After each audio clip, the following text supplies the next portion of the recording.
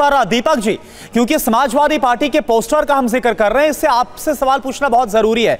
देखिए, जब योगी आदित्यनाथ की तरफ़ से बयान दिया गया, फिर आरएसएस की तरफ़ से इसका समर्थन किया गया, दत्तात्रेय होसबाले का हमने बयान सुना, उन्होंने बोला कि भाई, यहाँ पर ज़िक्र किया गया समाज के कल्याण का। प्रधानमंत्री बोल रहे अगर आप एक है तो आप सेफ़ है। लेकिन समाजवादी पार्टी के पोस्टर में क्या लिखा हुआ है? उसमें लिखा है कि जुड़ेंगे तो जीतेंगे।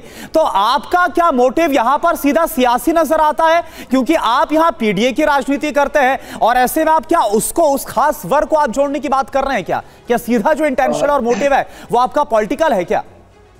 देखिए करुणा जी हम तो जुड़ने की बात करते हैं लेकिन उत्तर प्रदेश के मुख्यमंत्री जी जो है वो तो कटने की बात करते हैं। मैं आदरणीय राकेश त्रिपाठी से पूछना चाहता हूँ कि किसके बटने और किसके कटने की बात कर रहे हैं? अब तक की देखिए करुणा जी अब तक की पॉलिटिकल हिस्ट्री का नहीं नहीं सवाल मैंने दीपक इसलिए पूछा क्योंकि आपके इसी पोस्टर में पीडीए बड़ा बड़ा साफ़ लेकर और यहाँ पर बीजेपी बोल रही वो पूरे समाज की बात करे फ़र्क ये है। पीडीए देखिए पीडीए पीडीए का मतलब अभी पीडीए का मतलब ही नहीं समझ पा रही है लोग। इसीलिए पीडीए की चिंता नहीं कर रहे हैं। पीडीए के लोग की चिंता नहीं कर रहे हैं। पीडीए से नफरत कर रहे हैं ये लोग। इसीलिए इनको पीडीए से इतना कष्ट हो रहा है। देखिए पीडीए एकजुट हुआ जिसने 2024 में भारतीय जनता पार्टी को धूल चटाने का काम किया। कहा भारतीय जनता पार्टी चौसठ पैंसठ पे जीता करती थी 2019 में। आज 2024 में कहा गई? आदरणीय रामकृपाल जी ने बिल्कुल सही कहा कि जितने भी समाजवादी लोग हैं वो सब जेपी आंदोलन के कोक से पैदा हुए लोग हैं। लेकिन ये भारतीय जनता पार्टी के लोग महापुरुषों के मूर्ति पे मार्पण करने से भी रोकती है। पुलिस डिप्लॉय कर देती है बैरिकेडिंग कर देती है इतना हमला लगा देती है पुलिस का कि राष्ट्रीय अध्यक्ष जी या हम लोग वहाँ पर ना जा पाए ताला बंद कर देती है। तो बिल्कुल सही कहा था रामकृपाल जी कि हम लोग उनकी आइडियोलॉजी को हम लोग उनके विचारों को जेपी जयप्रकाश नारायण जी के योग नायक जयप्रकाश रामकृपाल जी ने यह भी तो कहा कि आपको जनता ने अवसर दिया आपने किया क्या? वो समाज वैसा ही विभाजित है वो वर्ग वैसे ही विभाजित है जो पिछड़ा रहा वो पिछड़ा रहा। आप लोगों ने क्या किया? ये सवाल आप आपने स्किप कर दिया। इसका उत्तर दे दीजिए। 2011 में ये डबल इंजन की सरकार की बात करते हैं। डबल इंजन में इन्होंने किसका कल्याण कर दिया?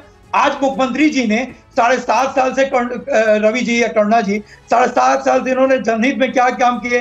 स्वास्थ्य शिक्षा रोज़गार महँगाई दवाई पढ़ाई सिंचाई राकेश जी कुछ रिस्पॉन्ड करना चाह रहे हैं। इनको ठीक है आपके आरोप पे राकेश त्रिपाठी कुछ रिस्पॉन्ड कर रहे हैं। राकेश कटोगे तो कटोगे। राकेश त्रिपाठी। गंदा बयान इस तरीके का बयान किसको आधा सेकंड और आधा सेकंड ठीक है बात पूरी करिए। मैं इनसे ये मैं इनसे ये जानना चाहता हूँ कि ये किसके कट रहे हो किसके बटने की?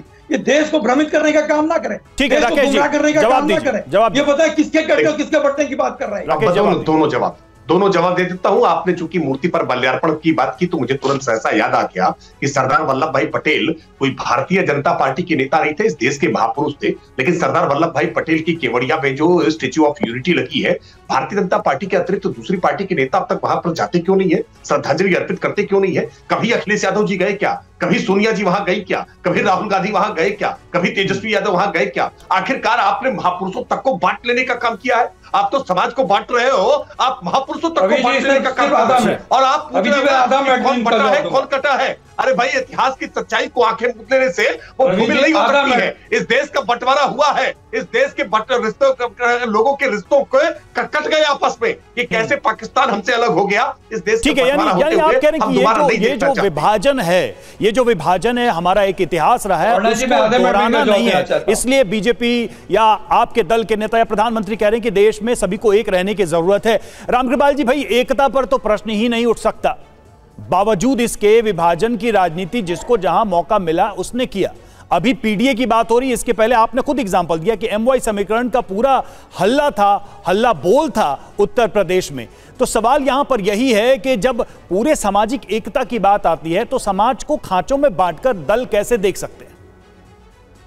नहीं, बिल्कुल सही है। देखिए, मैं केवल मेरी अपील यही है कि वोट के लिए कम से कम राष्ट्रीय एकता को साधन न बनाए। क्योंकि जब राष्ट्रीय एकता की कीमत पर आप वोट मांगेंगे या उसको साधन बना करके वोट मांगेंगे तो ये चाहे वो दक्षिण पंथ हो वाम पंथ हो मध्य मार्गी हो सबके लिए नुकसानदेह होगा। तो मे, मेरा ऐसा कहना है कि राष्ट्रीय एकता के सवाल पर ये ठीक है आप वोट की राजनीति करें कई बार ये हुआ। माफ़ी चाहूँगा राम कृपाल जी बहुत बहुत ही बहुत ही महत्वपूर्ण बात कह दी आपने राष्ट्रीय एकता। तो जरा हम चाहेंगे कि दर्शकों को बताइए कि राष्ट्रीय एकता का एलिमेंट है क्या? मतलब वो कौन सी चीज़ है जिस पर अगर कोई राजनीतिक दल चोट कर रहा है तो वो राष्ट्रीय एकता को चोट कर रहा है। नहीं मेरा यही कहना है कि देखिए राष्ट्र का नाम लेकर एकता का नाम लेकर के और इसको अगर कहीं से कोई एक बात की जाती है जैसे मान लीजिए मोदी जी ने कहा बहुत सही बात कर रहा है कि सबका साथ सबका प्रयास सबका विश्वास। आप इसमें कम से कम ये ना करें कि अगर कोई एक बात योगी आदित्यनाथ ने कह दी या मोदी जी ने कह दी है कि सबका साथ एक रहेगा तो सेफ़ रहेगा तो उसके बाद आप जो लिख करके लाते हैं कि पीडीए हम एक रहेंगे तो हमारा अस्तित्व जो है हमारी अस्मिता जो है हमारी पहचान है। हम्म। एकता हमारी भारतीय राष्ट्रीय हमारे राष्ट्र राज्य की पहचान है। उस राष्ट्र राज्य को इतना नीचे मत लाइए कि पीटीए जीतेगा। या फलाना जीतेगा बात वही होती है कि एक अच्छी शुरुआत को आप जब उसको एक वर्गीय खांचे में बांट देते हैं हम्म। देखिए मेरा भी कहना है कि वर्ग संघर्ष दुनिया से खत्म हो गया अब उसको कुछ वामपंथी लोग जाति संघर्ष में जो जोड़ना चाहते क्लास स्ट्रगल को अगर आप कास्ट स्ट्रगल बनाना चाहेंगे हम्म। तो ये हथियार आपका नहीं चलेगा हम्म। और ये बता दूँ आपको पंद्रह साल से वो नहीं चला है तो हम्म। कृपया आप खुद को सोचना चाहिए कि आखिर इतना सब कुछ ये सरकार क्यों बार बार जनता इस पर भरोसा करती है? क्योंकि जातीय राजनीति का एक बहुत लंबा दौर रहा हाँ। जिससे लोग ठगे गए तभी जेपी ने कहा था कि और क्या जो हरियाणा में हमने देखा जो नारे का असर हुआ है, क्या इसके बाद से ही जो विपक्ष है, उसे एक संशय और एक जो दिक्कत है, वो इस नारे में नज़र आ रही है, जिसको अलग अलग तरीके से परिभाषित भी किया जा रहा है। अलग अलग उसकी डेफिनेशन भी हम देख रहे हैं।